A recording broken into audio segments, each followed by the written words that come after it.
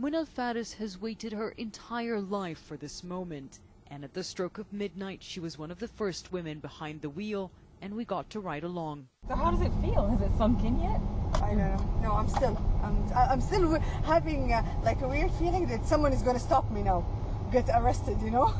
Did you ever think this day will come? No, never. Actually, never. It was one of the things that I thought it's impossible. It's never going to happen. But many around the country say they're in no rush to get on the road just yet. They want to wait and see how one of the most conservative societies in the world will react. And some just want to practice a bit more before making their way onto territory once reserved only for men. It's been a long and rough journey. Women who protested and defied the ban over the years were arrested, shunned by society.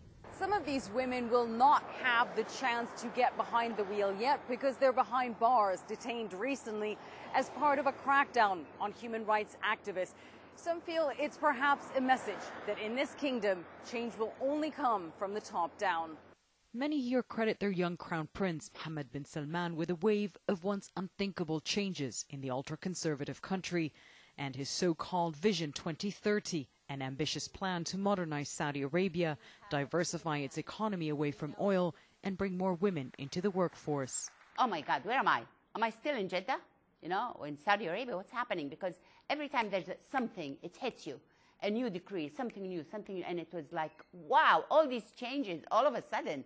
For more than 40 years, Sahar Nassif has campaigned for women's rights in Saudi Arabia. In 2013, she was one of the women who protested the ban by driving. She was briefly detained. I'm 64 right now. And uh, to be honest, this is not done for, I'm, I didn't do all this for me. I did it for my kids and my, for my grandkids to make sure they live in uh, more freedom and they have their rights. Uh, I never thought I would live through it. Nassif, like many others, wants to see an end to the repressive guardianship law, where women, no matter how old or how young, can't do some basic things like travel or work without the consent of a male guardian.